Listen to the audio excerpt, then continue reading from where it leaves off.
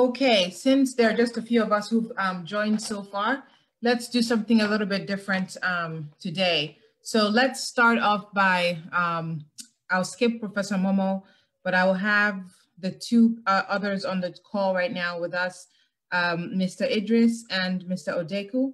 Um, if you can say hello and um, just uh, give a short introduction on who you are and why you wanted to make sure to join the call today. So, hello. Yes, we'll start. Is that is that Mr. Idris? Yes, um, this is um, Medele Idris. Uh, my name is um, Engineer Bamidele Idris. I'm the um, CEO for Get Jobs, uh, Get Jobs Nigeria, and also um, one of the head of the committees for Nigerian Society of Engineers, Ikeja branch. Excellent. I actually didn't know that before. Thanks for letting us know. And why did you join? Uh, what are some of the reasons you joined the, the call today? Yes, um, there are several issues we have. Um, it's it's really enormous uh, in terms of um, the uh, metering issues, uh, then the pricing issues. I, for one, I had to write um, the customer care uh, services for Ikeja Electric just um, some weeks ago. And um, the response time, not only in terms of the response time for email, and also, but it has to do with the metering. Uh, the time it takes for um, assessment and mapping of various environments. And also, uh, it has to do with um, virtually everybody that surrounds me has to go through the black market um, method to actually get meters. I hear people spending up to four months, five months, just to get one single meter in their location. And this is um, a big issue. Like me, I've done I actually filled my form, KYC form, but till now, I have not gotten any response. I sent a, re a, reminder email, and um, all I'm seeing is uh, errors. It's as if the email is not even working.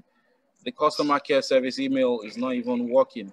So those are some of the issues that um, I'm having. Then, of course, I just learned on. Um, sorry, the, my my voice is echoing.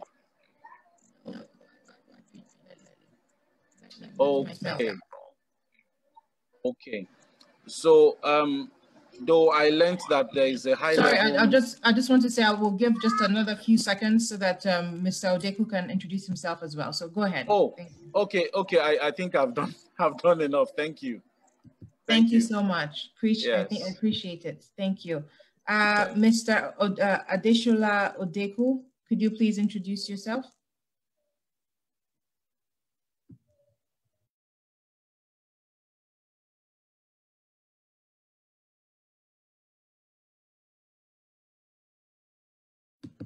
Okay, I think he's still on mute, um, and that's fine. So um, we'll just go ahead and get started with the uh, webinar for today. And um, we had probably at least 50 people call in on Wednesday, and unfortunately we had to move this uh, webinar to today. So I know that people will be calling in as we go. Um, this webinar is being recorded. Um, so just I just want to give you that um, um, uh, disclaimer. So let's get started with uh, Professor Momoh. Professor Momoh is um, an amazing person. Um, I, I met him through IEEE PES uh, several years ago. He's uh, an incredibly accomplished professor of uh, Howard University and has um, a plethora of skill sets where power and energy are concerned. So, so it was very exciting to hear um, when he got uh, the, the position or was put in position by uh, the presidential office to be to lead um, NERC. So with that, I just want to say hello to Professor Momoh and Professor Momoh, please give us a brief description of your uh, um, uh, introduction of your bio and, and um, I have some questions to ask you before we begin the presentation. Thank you. Um, thank you very much, uh, Dr. Irena, and of course, Bamidele, and uh, the rest, and of course, uh, Mr. Adeku. I appreciate the opportunity to join you all in this webinar. I'm sorry when Wednesday was, um, we were in the middle of a, a, a, commission meeting when I got a call from the villa, which we the vice president, I had to run. So I thought I would come back, but I couldn't get back on time. So I'm really sorry for the cancellation, which is not avoid, uh, which I wish could be avoidable. Um, as Irena said, um, well, I, I, came via Nigeria. I'm a Nigerian. I've been living in the States for more than 40 years, where I went to school, started teaching, do research, went all over uh, research in different areas, not only in power, we're using um, emerging, emerging tools to solve problems for efficient, secured, and reliable power networks, either for the Navy, for NASA, for FAA, and of course for utilities. So uh, I would say I have a, a range of uh, both extraterrestrial or non-terrestrial power system a background, but it's all about applying the concept of what you do to improve quality of service, to allow um, critical loads to be served, to provide uh, efficient algorithms that could make it happen so that you can have a tool that could be used by different agencies. So in a nutshell, I have been fortunate. Uh, work with EPRI, work with DOE, work with so many agencies in America, funded by many by some standard, one of the lucky ones to have been funded a lot by different agencies in America. Graduated many students, some of them are leading engineers, leading professors, or leading vice provosts in different schools. And of course, um, we have done a lot in America, written all kinds of books to improve the learning in the power sector, over nine books. But then you do all this in America. The question is, what is next? So it was the next that President Buhari gave me opportunity to come to Nigeria to serve as the Nigerian Electricity Regulatory Commission chair. So that's where I've been for the last two, uh, two, three years now. I was supposed to have started this work in 2017, but unfortunately there was a big problem between the regulator, the uh, the, the National Assembly and the executive. So they couldn't take us until 2018. So I hit the ground running when I started. I come in here from practice to theory or theory to practice. Try to turn NERC around as a learning environment where the staff with their advanced degree can be put to work. So it's a lot of things I could say about myself, but maybe I will write a book later on myself. so let me stop right there, Rena, but there's still a lot to do. Uh, I return back to the States soon and do more work. So, but we have sown a seed here in Nigeria, and that seed is for sure is going to germinate. Great. Um, I'm, I'm, serious about that. A, a staff just left my office he has taken the interface challenge that DISCO and TCN has a problem with. They have an increase in generation now, nobody know why, but I can tell you why. It is my unit staff that I push them to do the work to make sure there is proper handshaking between TCN and DISCO, hence the improved generating, uh, generation in the country. Since these case have been working, there have been minimum collapses. Anyway, let's stop there, Irena. That's, you know, I have been hard to say. you can say it's a privilege. It's a privilege to have you working in Nigeria. Yeah. Uh, definitely a privilege. Um, let me, uh, okay, can you move your camera a little bit so that we can see your full face? Oh my. God. Yeah. Okay. That's, that's perfect. That's perfect. Okay. Yeah. Let me put my glasses. okay. Awesome. Okay, so as, as, I told you, um, this is not really a lightning round, but um, a number of people who are going to receive this video are um, going to be in college and in high school, and they're going to want to understand um, how you chose the path uh, to get, you know, getting into power and energy. So I'm going to ask you a couple of questions um, around that, that to help guide them. Um, okay. Why, why or how did you choose to go um, to to work in the power and energy sector? Okay, um, I think somehow I had the exposure to what power engineering is as a young kid in Nigeria. Uh, I was amused by people in my neighborhood who were going, who were in the university at ABU, come back home on long back, and I would volunteer myself to go out with them, so I could just enjoy the practical of, uh, practical side of what I was thinking I was doing in physics, and so on. But by the time I went out of the Nigeria and went home to the US, in my university, you are allowed to take as many electives as you want.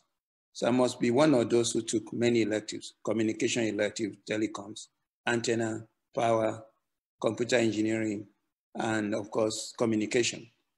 So I just took all of it, got more, more, more credit than I'm supposed to have. Well, by the time I went to graduate school, I had to converge to something. So I went to, again to communication. I started working at Bell Labs. Bell Labs, all of you know, that's one of the um, research uh, frontier of a telephone industry in the past. So my love for mathematics was very high. And therefore, it's like very readily available to electrical engineering, where most people suffer if they go do electrical without mathematics background. So at the end of the day, I begin to see myself. Am I just going to be talking electronics, power every day? So I say, no, no, no. I want to do more work in communication research, more work in mathematics.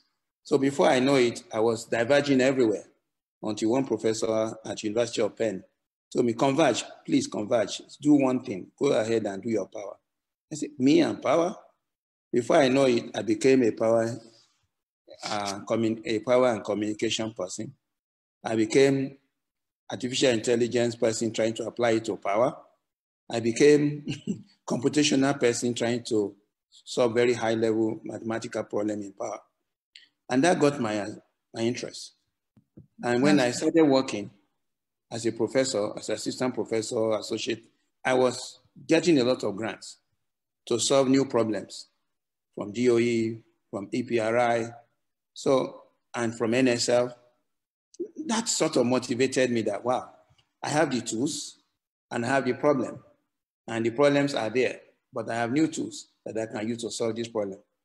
That is how I ended up becoming in great, uh, in, embedded in power. And I see Nigeria as a challenge where they also have problems, but no tools. So I begin to dive, also bring Nigeria and USA together. I started a, a program called ICP-SOP, which is International Conference on Power System Planning and Operation, where I bring my colleagues from the US and we go to Nigeria or go to Ghana or go to Syria, uh, what is it called? South Africa. We went all over the place, sharing knowledge. So we identify with the problems of the country. I started teaching many of the engineers in Nigeria. So this is how my depth of power, not only professoring in, in, in power, but I begin to solve real practical, practical problems. So whether it's voltage collapse, whether it's distribution automation, stability problem, planning. So I got involved and I got a lot of team um, co collaboration with my American professors, colleagues, and Nigerian professors. So that's how I got deeper and deeper and deeper. So coming to NERC was a privilege because before NERC, I was privileged to work at the National Science Foundation as a program director for four years where I run the program for the whole country, where I develop an initiative called EPNES, Electric Power Network Security and Efficiency, which was a forerunner for deregulation. so we had to come up with tools that interface with economics and power and control and communication. So I just find myself lucky that I have to come to Nigeria to share some of that knowledge and have good people to work with. So that's really my little talk on what has taken me this far. Am I enjoying it? I'm still enjoying it very, very well. very, very well. Will I do the same thing all over again? I will, I will. That's great. That's awesome. I, I wanted to pick out a few things from what you mentioned. It, it took um, a professor in the University of Penn to tell, you know, to help guide you towards, hey, it's time to converge. And so for the young people who are watching, um, you know, it's it's always good on the path to have some kind of mentor uh, lead you. Um, Professor Momoh is has been an awesome mentor to to several people and ha has helped guide them in their careers as well. And so even as you pursue whatever you're pursuing, um, it's it's good to to have an ear out for uh, when someone is trying to guide you uh, towards uh, the place that you should go. For Professor Momoh, he was um, as you can see, you know, even as, as a young uh, person, very smart, very good at many different um, uh, parts of electrical engineering. So he could have chosen anything, um, but you see how he was able to apply each um, skill set back into power and grown that over time. He also kept mentioning um, creating tools. So you can see that that's part of one of his uh, strong points is creating tools for success in the power and energy um, sector. Okay, um, for the sake of time, I, I was going to ask, um, okay, well, if you can answer this in a very short, uh, with a very short answer, Professor Momoh, what made okay. you choose the academic path to, to become okay. a, a, professor? Is it uh, as the grant started, that's kind of what helped you decide to become a professor? Okay, well, simply put, I, when I was a young boy, I was not only a good student, but I was also helping many people. So I wasn't good for myself. I tried to bring other people up. And they even give me a nickname, Professor.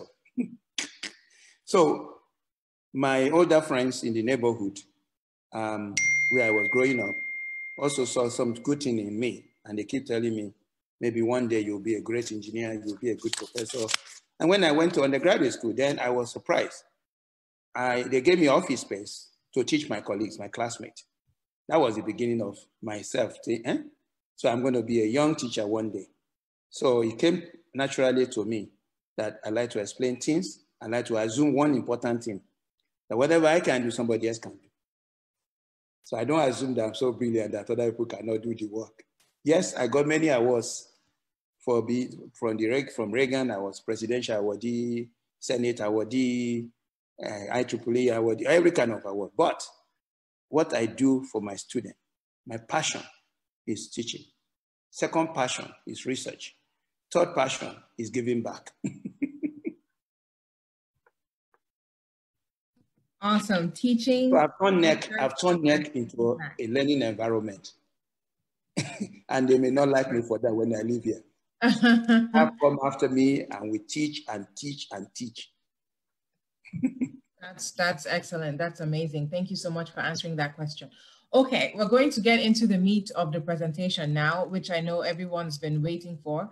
Um, I'm going to let, I'm, I'm sharing my screen now, um, and I want to take it to slideshow. Professor Momoh, do let me know if, if you can see it and let me know when to move to another slide. If you okay. want to be the host, just let me know and I can make you the host now. But no can everybody see the screen? You can nod if, uh, Mr. Idris, I can see, you. can you see the screen? I can, yes, I can, I can see the screen. Okay, excellent. Yes. I'm going to slideshow. So Professor yes. Momoh, it's, it's um, on you now. So feel free okay, to- let's go. Well, the goal here is to present what I think is the current concerns or status of the power supply in Nigeria with all the issues that come with it. As chair obviously I have to be on the top of every problem. So the summary presentation here is ongoing current problem of the country, which I have to work on every single day with my colleagues. Let's move on.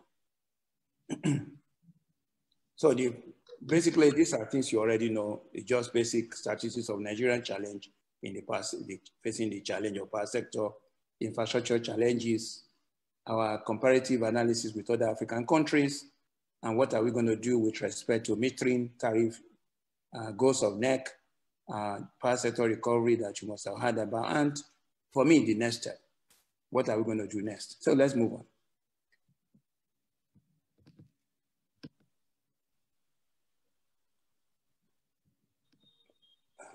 Uh, Nigerian population, as you could tell, they, we are told is 200 million plus, but 55% of us do not have access to power. That means over 45, if not 50% of us or more, are what? Are in darkness on a given day. Wow, a country with 200 million means they cannot do work. If power or energy is ability to do work, that means most of our population people are not engaged in useful work that is electrified, uh, that is based on electricity. So according to the World Bank, it's also said that, look, 41% of business in Nigeria, uh, businesses own their own power. If you are making sure, uh, if you go to a particular uh, commercial industry, they, they have their own generator. Okay, but it has its own shoe making supply. If you go to a, um, a, a particular, uh-huh, don't worry, there was light off, but it's okay. Um, so if you go to some hotels, they all have their own power supply. Can you imagine? So they are generating their own power. So our country is really, really in trouble. We are behind. The GDP of the country is still as low as 410 million from the World Bank statistics. And again, Nigeria is able to generate only 126 kilowatt per capita. Can you imagine? So that makes us look terrible, terrible. Every time I show this, people say, well, uh, don't, don't compare with the rest of the world. We have our own problem. I say, we have our problem, but we need to solve it. Let's go on. Now, you hear that it's about 5,500 megawatts, not small m, big M, as our base load when you take a snapshot by DISCO in a given hour. But the base load is less than the capital load that is being taken on a given day. Like I said, there are many other people generating power through the industry of grid power supply. So there's a lot of, lot of money being wasted. People are doing their own thing just to make life um, happen. As I said before, or maybe I said it too quickly, there's a lot of challenge in the interface. I will show you the interface shortly. The interface between gas generation, transmission, and distribution, there is a mismatch and that has caused a lot of problem for the Nigerian power sector to be um, fruitful, uh, to be reliable or functional the way we want to see it. So the transfer of power from the source to the customer is, hint, is hindered by the interface measure, uh, challenges. It could be lack of uh, simple thing like um, reclosers, simple thing like um, transformer that is not functional, simple thing like they don't cut their trees, so many small, small things. In fact, as a former research consultant advisor to NEPA or TCN, I went around the country and I knew it's a small little thing that they have not taken care of. So when I came here and start, people start telling me imbalance, I know what your imbalance is. Lack of innovation is another one. Lack of investment is another one. You don't maintain your system. So how can you have a secured and reliable network? You can't. Let's go. So I was showing you that the country Nigeria, 200 million, generates about 6,800. The country South Africa has less number of 60 million and they're generating 50,000 megawatts. Can you imagine? Egypt, our Egypt, Egypt, just Egypt. I've been there many times.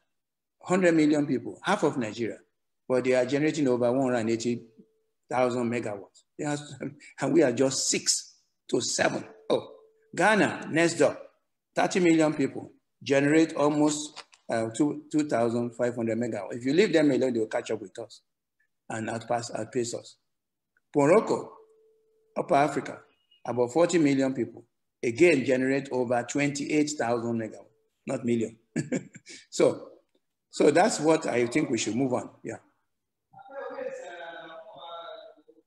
So here is the big misalignment if you ask me how many problems do we have in Nigeria, we have two problems.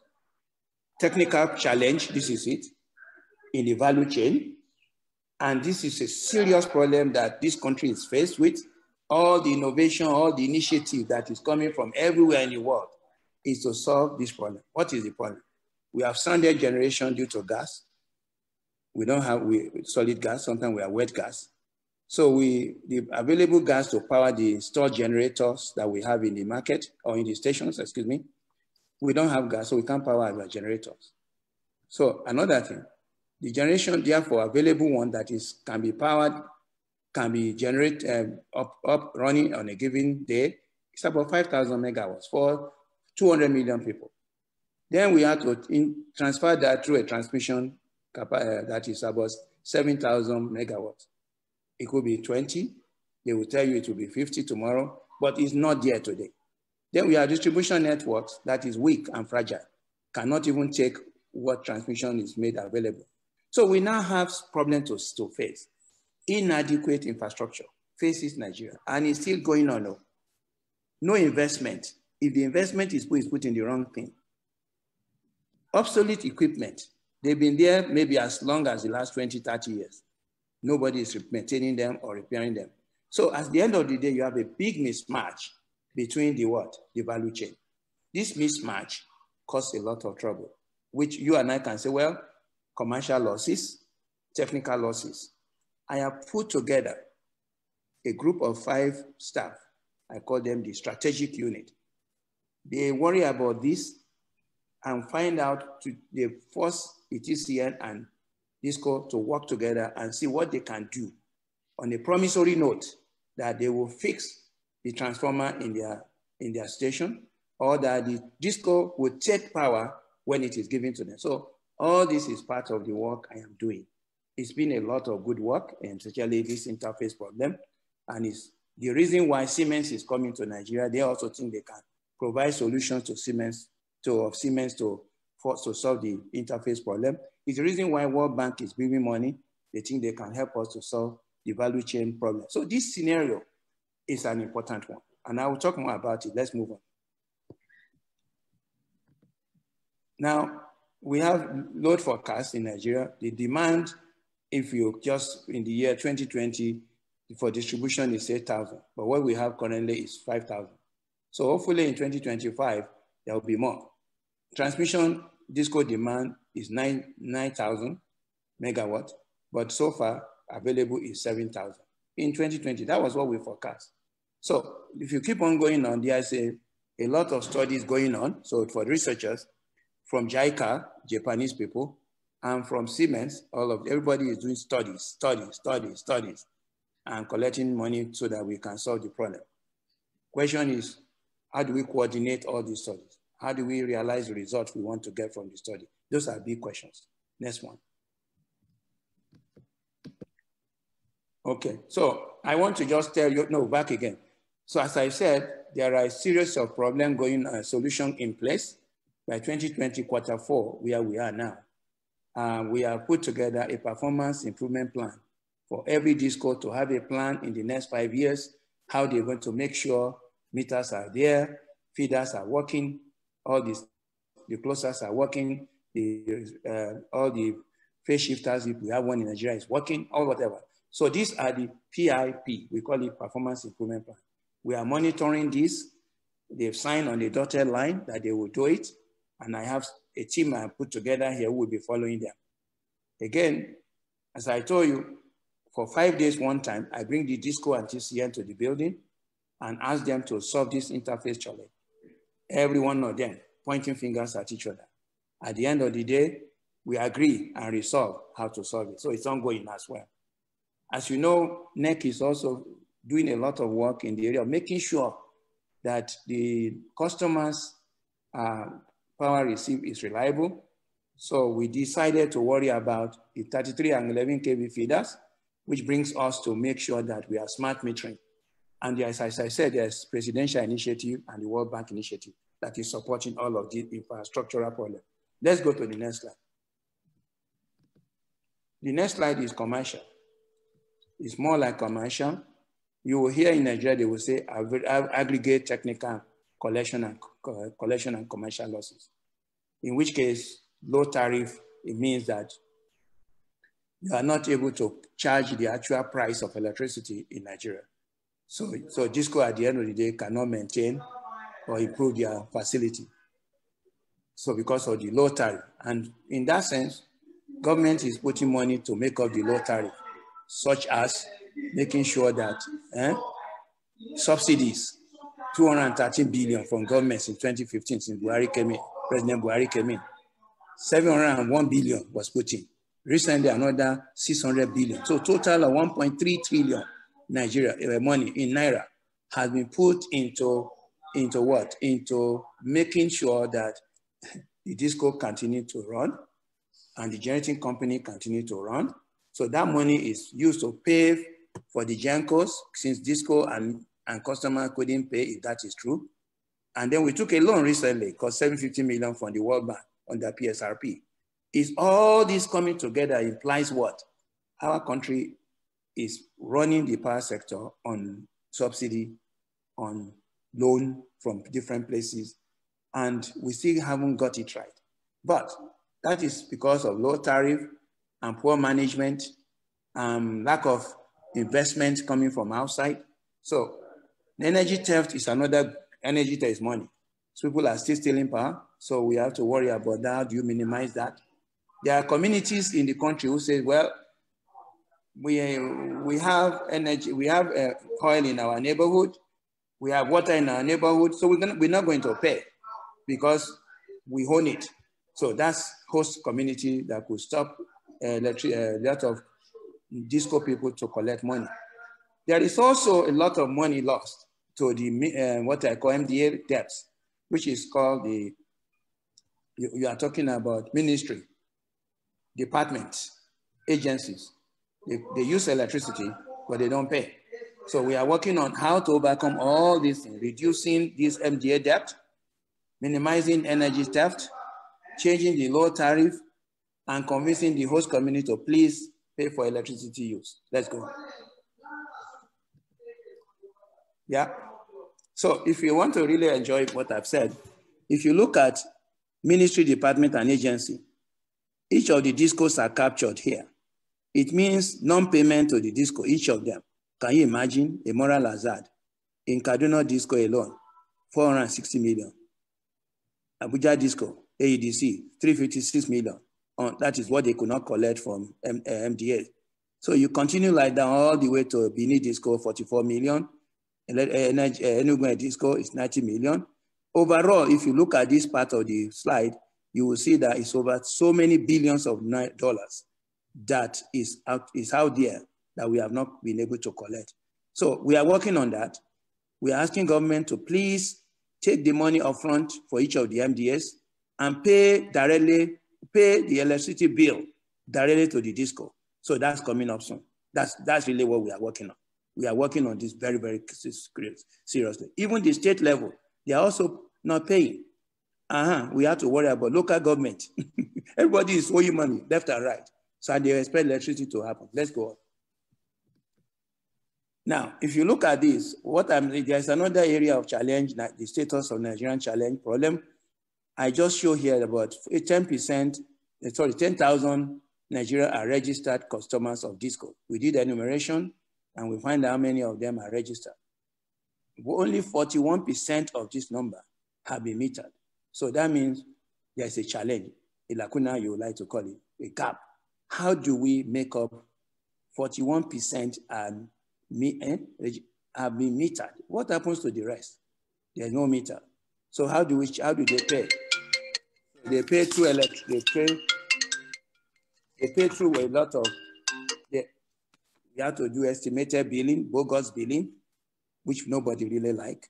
So which means that if you look at each of the discos, you could see 20% Yola, 21% Kano, you can imagine, of paid bill or meter, 21, 32% of their customers. So it's a terrible thing. All these costs combined is 41%. So I think these are serious things to look at. A country that is selling power and doesn't have a meter to meter its people, how much, to what extent is the, is the collection going? So collection losses therefore become high. And of course, lot of laws and rules are being proposed to ensure that um, the commercial losses is reduced. So that is why a, the new direction, the new initiative now is to provide meters so that people can pay for electricity they use and they will optimize or they will save energy that they don't want to pay for.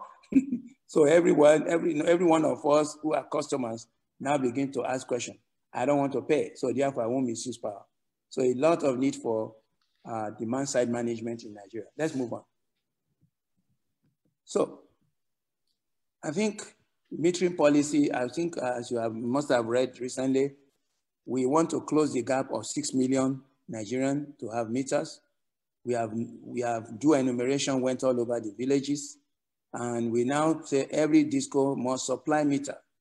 And because they didn't do it, we introduced MAP, which is meter asset provider, which is an independent investor who comes in and provide money and put meter in single phase, three phase meter to different customer. But he ran into a roadblock because as we were doing it, 35% uh, uh, custom duty was slashed on the on map provider. So they couldn't really sell the, the meter for the price we agreed. So that slowed everything down on map, uh, the role of map in the country. But thank God, uh, and the president as well, presidential initiative on metering has now removed that 35% custom duty. So, and also in terms of meter importation. That also leads to a new initiative by the government to begin to increase in a hurry up to this 60 million within two years by doing local production and manufacturing of meters.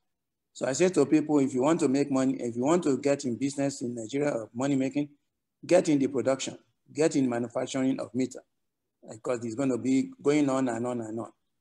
The losses, ATC and C losses is also coupled with these metering policies. So we are forcing this court to please reduce the technical losses. Collection must go up and come and also um, the commercial losses, which is true to theft, has to up to be reduced. So we are imposing a lot of standards, monitoring and evaluation. We have different members of the commission who are very busy running around and making sure they follow the DISCO and the TCN so that we can now immediately have incentive to improve um, the metering problem in Nigeria. It has to follow a particular standard. So we have to make sure it's not just any meter. Some smart meter will come here, they have to satisfy metering code that is already approved by Nigeria, by NERC. And of course, specification has to be given thorough attention. Capping was another thing we, we introduced recently. In fact, by Monday, a revised capping uh, order will be out. I will be signing.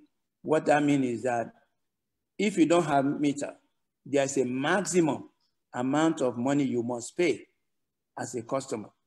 You cannot be, you cannot take advantage of customers who are not metered and you start charging them bogus money. So this assume that the capping, that is capping of estimated billing. That means cap the estimation in such a way that my neighbor who has meter is paying 10,000 10, naira a month if I don't have meter and I have the same type of house, I should not pay more than 10. That's what capping is doing. We want to use it to discourage, to discourage, I repeat, I have no choice actually, because the government under Buhari has given a, a directive that all customers shall be metered going forward. So, and I think the roadmap or the rollout plan, the rollout plan is already in place. What we're going to roll out before December is about 1 million. By next year, with another one or 2 million. By 2022, we might have, we will have bust the, the country with meters all over the place. And we also know customers are not required to pay upfront. It will be part of the asset of the discos, how they will compute the small change that comes from a particular customer we are going to monitor that as we move as we move forward. But don't be surprised if you hear the language, meter is now free in Nigeria. It's because of that statement. But I'm saying as a regulator, there's going to be a lot of talk, agreement between us and DISCO to ensure that they came up, come up with proper pricing of their CAPEX, which is called capital expenditure, and OPEX, which is operational expenditure. It is that they will lump all the things so they can get adequate uh, rate, adequate rate. So next one. Yeah.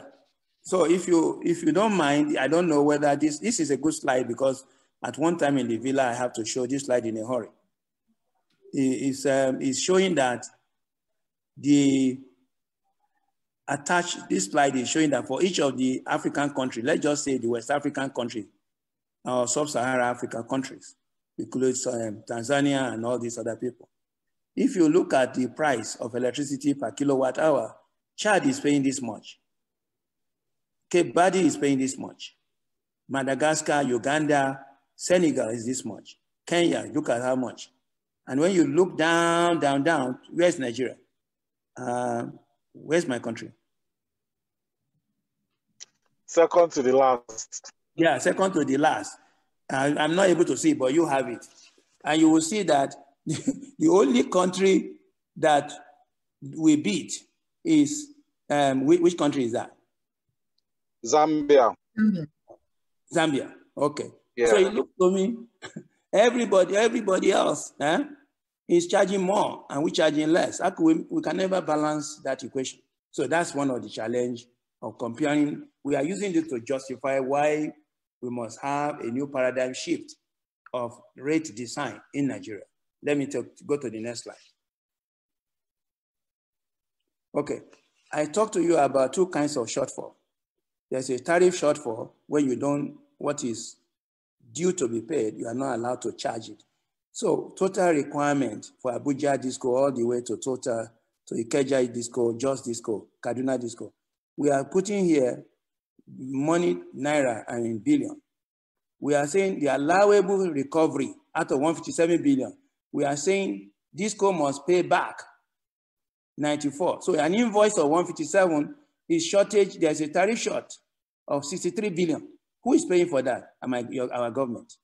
So all this column here leads to the fact that when we talk about 20, in 2019 alone, you could see the tariff shortfall is this much in billion, just one year alone. If you look at the entire year, you may see that is where we come up with a lot of money. So only 51% of the total revenue is allowed for recovery from customers. So that means we are dependent on our government to recover. Now, government has a problem. Government says we can no longer subsidize electricity alone. Our schools are not functional. Our roads are not good. Our water is borehole water. And our whatever, whatever rain, is, um, everything is hogwash, is not working.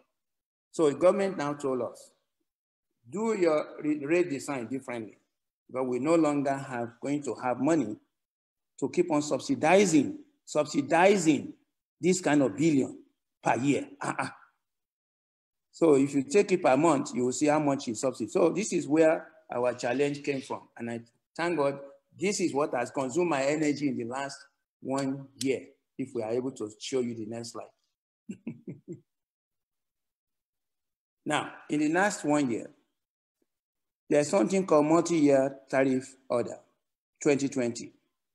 We normally, we went around the disco, no, no, the disco came to us and said, they need more money from customers. If we don't give them, they cannot operate well. We said, okay, according to our market rules, we will go around the country together.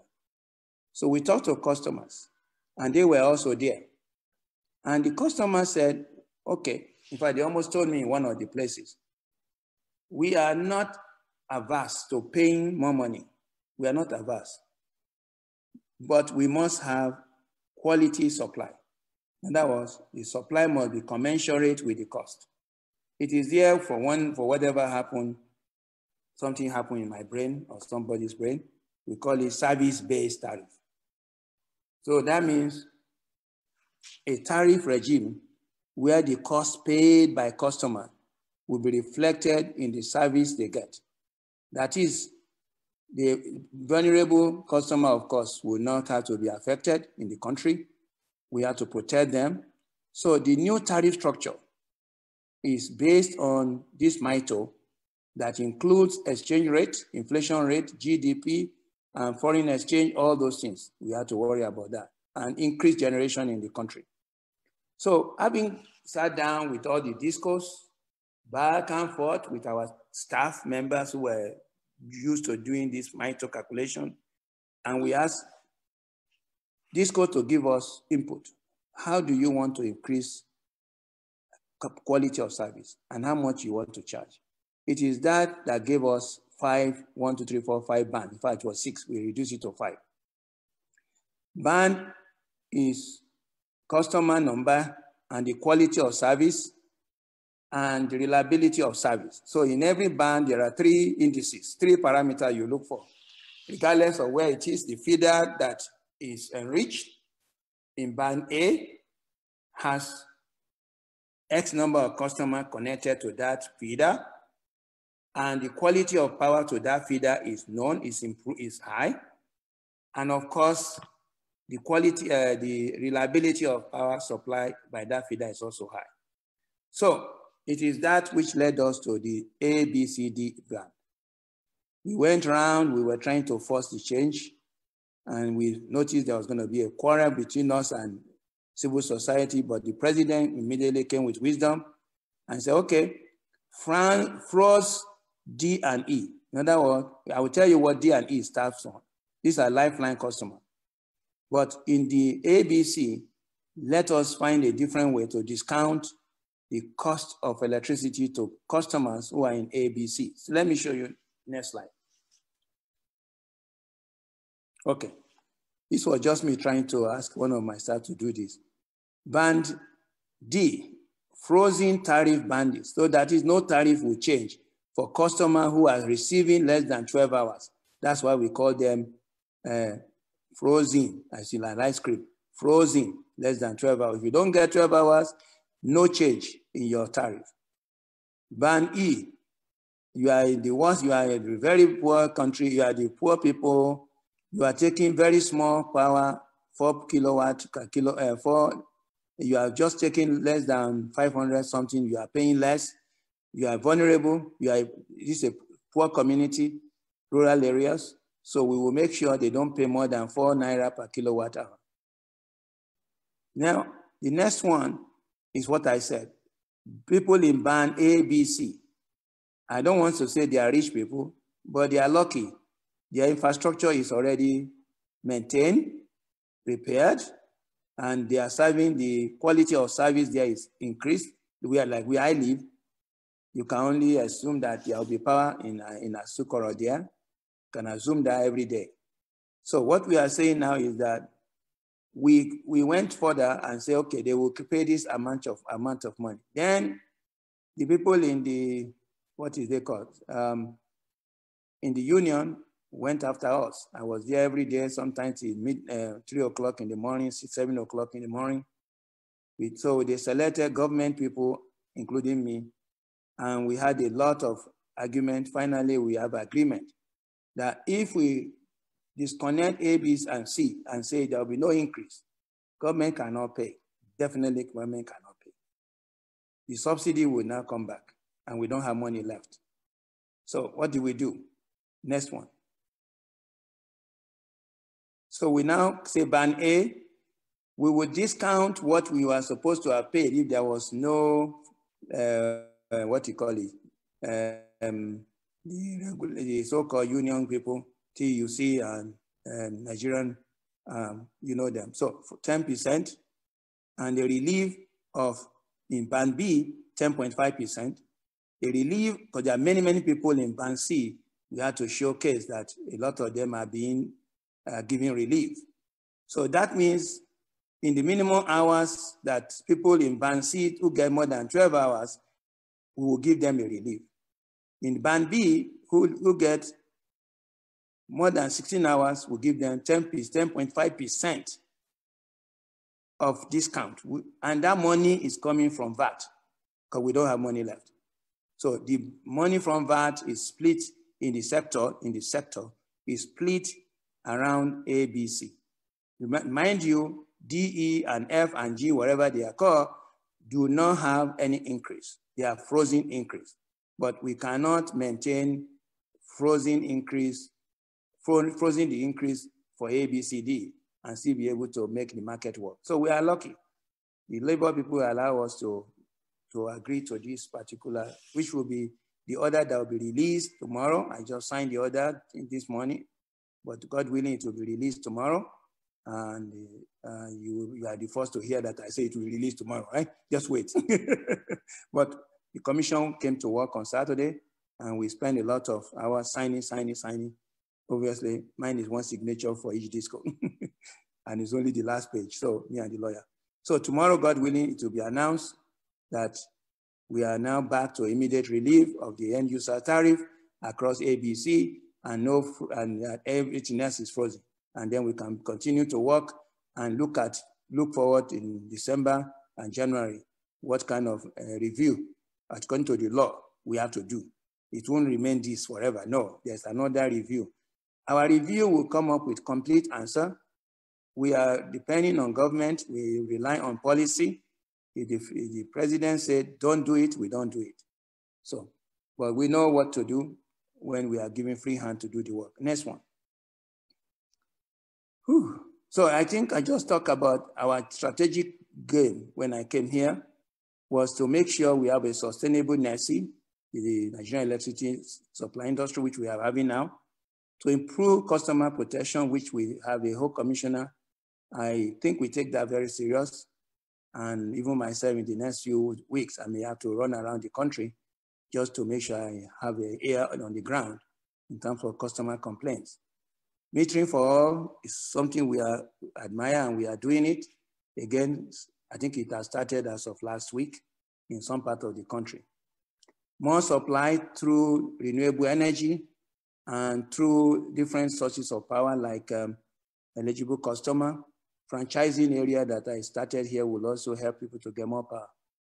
Access to electricity through smart grid, through renewable energy, that's correct. Security of supply, mixed energy, that's correct. Mixed energy, wind, solar, and, go, and water, and everybody will be happy. And again, governance is critical because if the governance is bad in this disco, we are trying to force them to change and improve. Local content, as I mentioned earlier, is a must. Nigerian made meters, Nigerian made uh, reclosers, Nigerian made transformer is the next thing. So any way you all can work from abroad, from wherever we are, please, Nigeria is a, a place to think about doing some uh, manufacturing locally and uh, people are ready. Uh, human capital is very important. Like I said, I set up a, a NERC academy when I came here, despite the fact that they do go on travels. But thank God we set it up because during COVID we could not travel, so we are still able to grow the human capital here, give them exposure to either not only in the technical work, in the soft skills, as well as in the project management type, you know. This is me and NERC. so if I leave tomorrow, don't worry, I finish my work. Next one. now, I think it's important that I just remind you uh, the Siemens project is ready to go. The proposal I contributed in reviewing, I went to the villa many times, but I think they are putting together uh, execution of the project and purchases and procurement. I told you about performance improvement plan is already approved. And of course, uh, the our sector reform act, I'm just telling you, is full of a mis, misnomer, lot of mistake. So people are, um, the National Assembly want to review it and I think it's timely because they couldn't have given somebody a job and they're telling him when you get to this age, you are gone. That is not acceptable. And they couldn't have come up with a lot of uh, rules when customers fail to do their work, they go to court against us. It's not acceptable. So all this is vulnerability of the commission. So we are, they are working on it. I don't know the details. Don't quote me on that. I'm just saying I've come to, they invite me, I have come, I have served, I am done. so there is a lot of money from AFDB. There is also a lot of money from the World Bank, which I talk about 750 billion, uh, million. They're going to spend more money every uh, for the next five years. And it's accountability requirement. It's not just collect money and do nothing. They must be accountable and they must be prompt accountability and whatever, to make sure that money is well spent. Next one.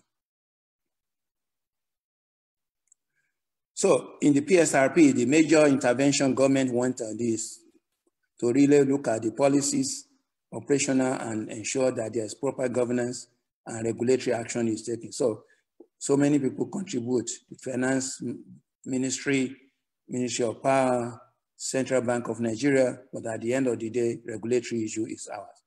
The key objective is important to ensure we have a reliable power, we have a viable nursing, and also ensure that there's transparency in the market. Um, it starts from me, transparency. It starts from me. You cannot, we are not ready to compromise in this place. I am not ready. so if you don't like me, don't worry. I told I refuse. Clear policies for growth and contract-based electricity market. That's where we want to be. We are, if we are not there, we will still be going from value chain, we'll be going to GENCOs, we'll, Disco will be going to NBET, NBET to GENCO, GENCO to NOB to gas. No, no, no. We need a situation where the whole thing is now able to talk like it's done in PJM in the US. People know exactly how much power you use, you must pay for it. It's a contract and the quality of power you must also provide. Okay, next one.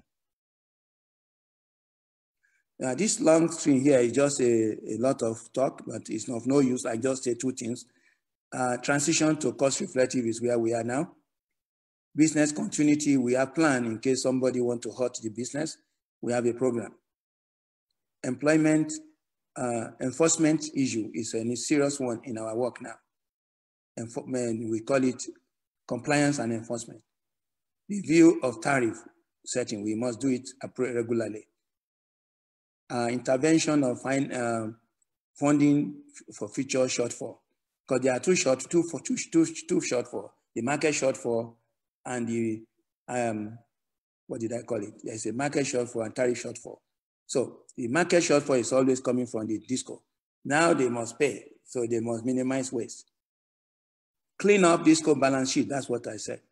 Determine adequate revenue requirement. So we know what is the minimum money they must pay. When invoice comes to them, they can't throw the money and say they have no money. We're going to take that money directly from central bank. So commencement of uh, computation processes and so on. Here is, uh, I've told you about initiatives. To me, I have a lot of problem. All these initiatives are important, but I don't think we have taken time to coordinate as a system person, and I'm sure Elena would agree with me. There's no coordination, there is no uh, planning or which one comes first, if this one overlap, which one comes in. No, everything, okay, money is coming from everywhere. I told you about meter asset. Provider regulation is working now because they are forced to provide that meter they bought. Initiative of the president is part of it. CBN is very close to this, also providing seed money to get it done. Uh, the law, we have find out that sometimes there's a lot of litigation and many people try to go to court or file an injunction, but we are overcoming that soon. We have to ensure security of energy, uh, of energy mix, obviously. Promote local content, I've said enough. Forex policy in the power sector to be sure that the money for investors is properly calculated, both for off-grid renewables or incentive for private investors. Otherwise, they won't come. Operational intervention, which is the issue of metering, I've talked about that. Appointment of board members, because it's been said over and over that there is a, a gap in terms of Nigeria to 40% uh, investment into the disco and the disco 60%, but when it comes down to who run the place, it's not in the same ratio. So there's a lot of work going on to make sure instead of one, instead of three members from a uh, governing body from disco, we want to change that number and that is ongoing work. Hmm? So, so that at least there will be, everybody will have input in terms of how money is spent and the return on investment and liabilities and so on. So next one. Okay, this is perhaps my last slide. Uh, I think there are still many challenges. Subsidies should go up. I'm asking questions only. Nobody asked me. I'm the one asking myself questions. And Orena will know I will ask myself question. Maybe this is my work next. if subsidy should go up, the national goals of the government will be seriously challenged. So this is a challenge. So what do we do? This is a challenge because what we went through in the last one month. I'm telling you, if remittance of DISCO is not improved and enforcement is stricter, the sector will face liquidity crisis. Enforcement is not stricter, hmm. not stricter. If it's not, in other words, if we don't enforce the rules of payback by the DISCO, so how do you force them to pay back? What is the mathematical strict scheme we must put together? Nobody is talking about that. We argue a lot, but there is a need for system theory people to help us look into this challenge. And local and foreign direct investment would run if, if the return on investment is poor, obviously. Perception of value of effort by customers will deteriorate if, if the distribution transmission generation is not improved.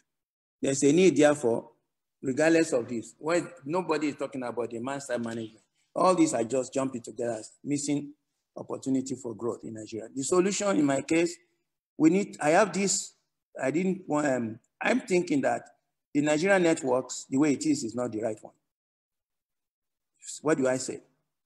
Um, we still have X number of generators, so many discos, so many transmission paths, but long transmission line with losses, loss of money. But load is far away from where generator is, loss of money. My recommendation is a new design of a decentralized distribution network. I have idea on that, and that's research work, where we can take, for example, uh, Azura in, in Benin, okay? We can, there's no business there. And the man in Azura has signed a contract with Nigerian government called take or pay. Whether we like it or not, we must pay. We take it or not, we must pay. But there's no business in Azura. So if there is no network connecting to all the way to, to Lagos or to Shobo, then it's not used, you still have to pay. So my solution is, can't we redesign the network? I have put that together, but it's not for discussion today, unfortunately. Okay, but as I'm saying is that you can even provide, um, what is that in the call? Um, a business environment where Olorunsogo, uh, all those people in, in Kaja there, they can create business in that area and market power quickly to customer. And it will be cheaper and it will be lossless and so on. Another one is allocation strategy. I talked about that, no, franchising. Here at NERC, I, I put my mind into this we have come up with a order of franchising with a guide. So it's already in the public. It gives opportunity for investors to come to Nigeria, look, go to any of the disco, convince them that you want to provide services. And I think that's a good way to go. It's done in India, it's done everywhere else. Resource allocation, I really think of this very highly. What do I mean? Um, I think when I mean that there are many, many options, many, many projects going on in my country, there is no clear cut of priority coordination, Pareto usage, AHP that um, Urena did, did a lot on. We need to use hierarchical processes to do some work here. And I think it has to be done eventually by some research people. I also propose, since I've been here, a need for a research institute and university uh, on energy and power networks, which will help us to solve emerging problems I have started it. I have not started the institute, but I started collaboration with nine Nigerian universities, and they are funded by the chairman's uh, discretionary money, um, which is to promote growth. So I have seven, nine universities working. They have written report. If I show you one of their reports, you will be impressed. Uh, people underestimate our Nigerian university, uh, but I don't, because I worked with them in the past. So I am funding Ahmadu Bello University, ATBU, that is Alhaji Tafawa Balewa University, uh, university in Kano, they call it um, um, Bayero. It's seven o'clock. Okay. And then I'm funding University of Benin. I'm funding Futo in Owerri. I have a lot of good friends there. I'm funding Futmina. I'm funding um, what else? I'm funding uh, University of Lagos. I'm funding them and they're going crazy, solving Nigerian problem. They're solving ATCC problem, they're solving reliability problem, they're solving um, how to locate fault in a smart meter method. There are all kinds of headache. I just sat down one day, they arguing, arguing in commission. I said, these people are wasting my time. Let me give the work out to people. So I sat down and I saw the opportunity for work. And from there, I reached out to my Nigerian university and told them it's, it's small change, but they are very happy for the first time. Um, industry called Nigerian professors to come and look into the problem of the need of the country. I'm very confident they are writing papers even now for our journal. they are writing papers. So, and I'm really happy that I came here. So the next step of my effort in Nigeria or beyond Nigeria is vision for creating and improving standard of living in Nigeria, which will be centered around electricity through quality of power and reliability of power. How do we do that? I don't know, but it's a vision. Coordination of initiatives currently ongoing in the sector so that we can have a proper uh, return on investment and timing. Implementation of maybe a roadmap for the sector in my case, so that we can get all of you who are listening to assist in joining me later on, but I won't be here long and I'm actually on the, on the way out. But the important thing is I have a dream that one day starting, Nigeria will have their 24 power supply, like I said in January. But to make that dream come true, all hands must be on deck. I can't do it alone. You can't do it alone. But we must look for low hanging fruits and run with it and tell somebody, you can't stop me. You cannot stop me. Nothing you can stop. I told NERC people when I came here, you must not be defined by somebody. You will define yourself. I came here with that attitude. Thank you, God. I do my best. Next one. This is awesome. Thank you so much, Professor Momoh. That was very enlightening. Um, you. I'm sorry, let me make sure I've muted everybody.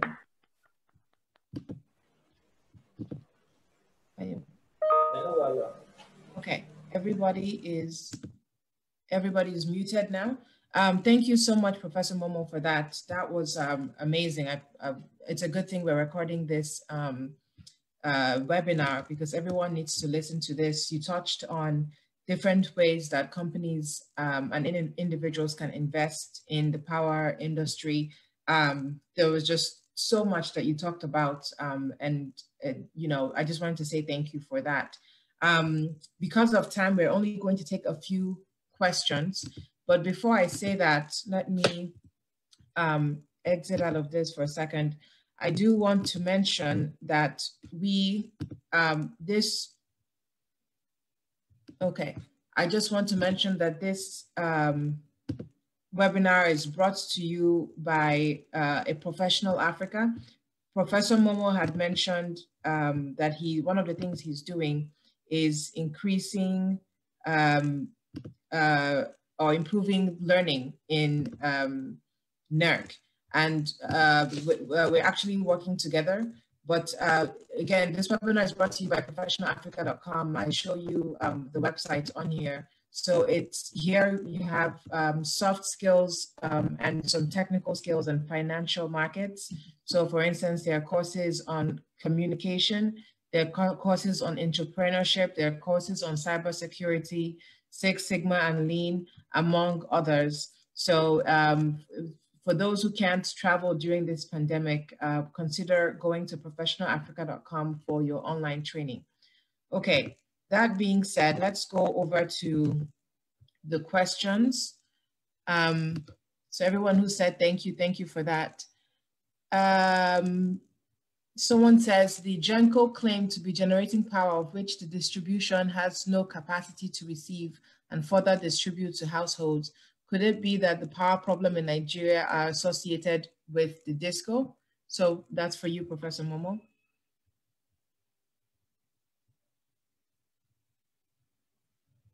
Oh, let me let me unmute you. You are muted right now.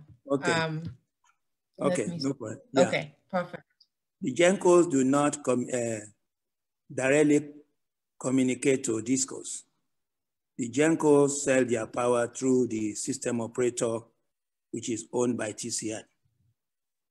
And of course, TCN now dispatch power to DISCOs. Um, the question is, is DISCO taking the power from GENCOs? I mean, from TCN? This is where the blame game came from.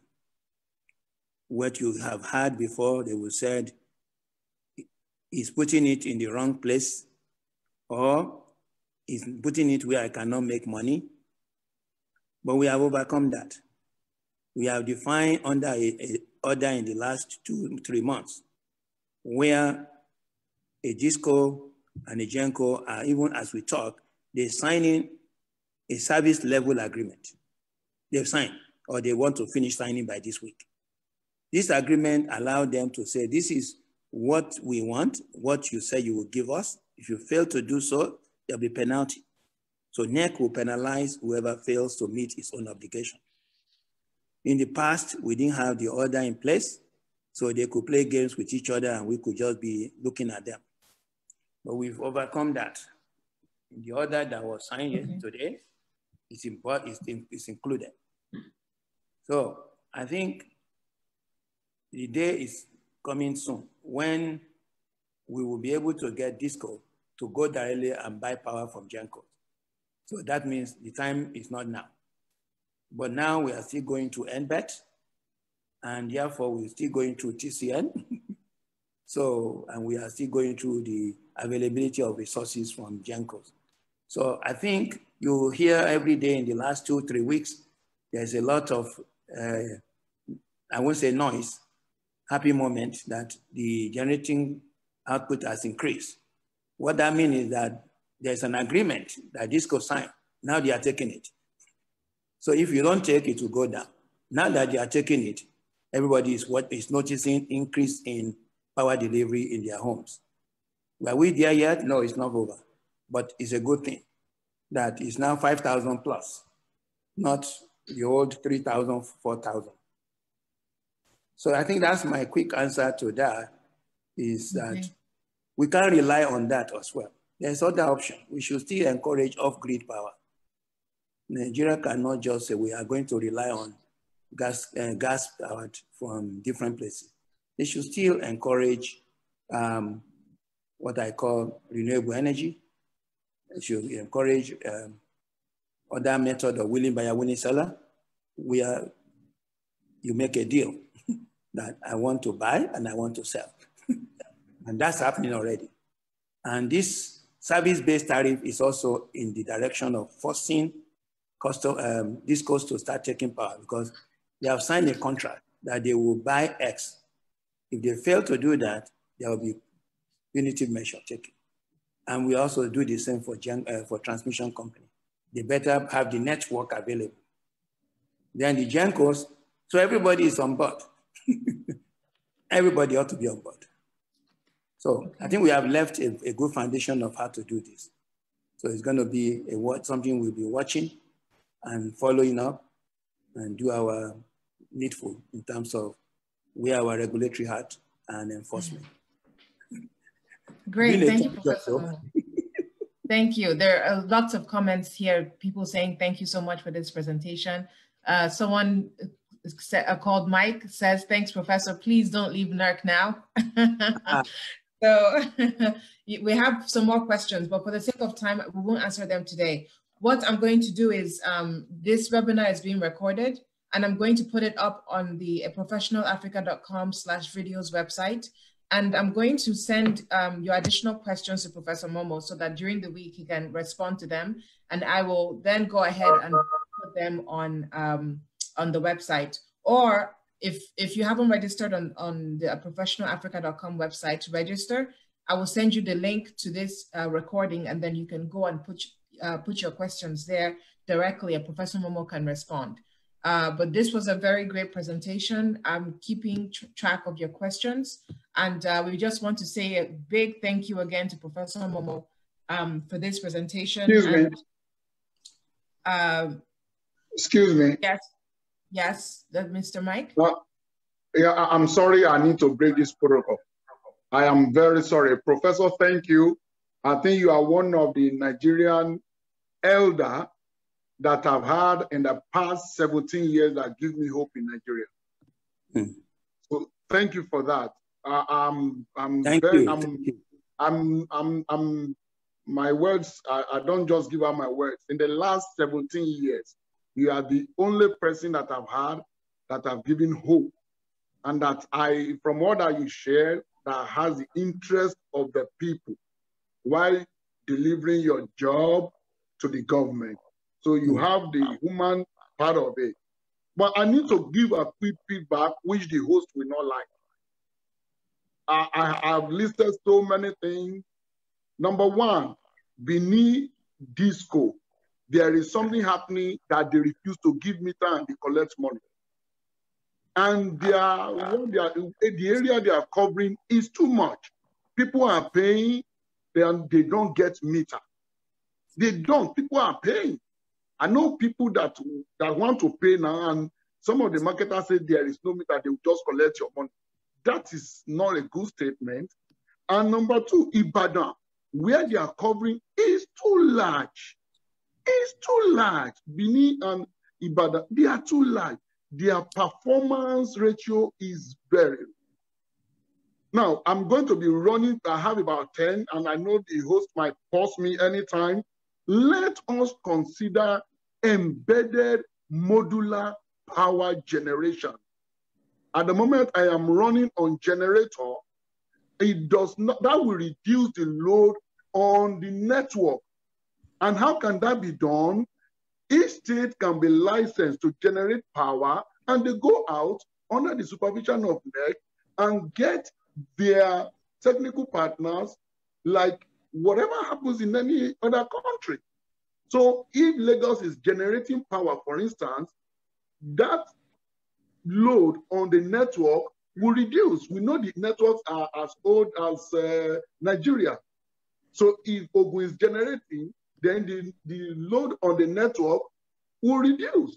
So mm -hmm. they will be generating on their own. So when they have excess, that is when they turn on the interlock to feed the little they have in excess and they feed it to the national grid.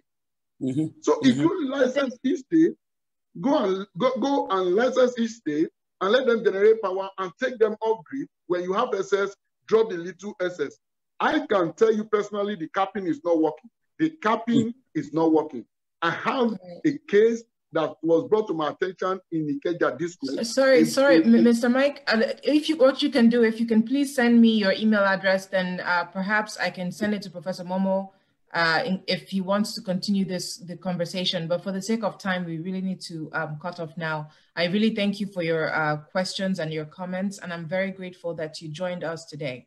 Thank you so much. Thank you so much. I'm sorry. I'm sorry that I broke the protocol, but the professor okay. needs to hear stand uh, feedback. Thank you. Don't worry. I will deal with. Ah.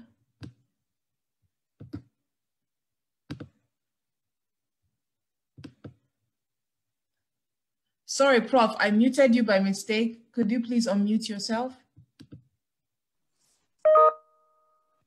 Okay. Professor Momoh, can you still, let me see. I think I have now, Professor Momoh, can you hear me? Yes. Okay, okay, great. You are saying something.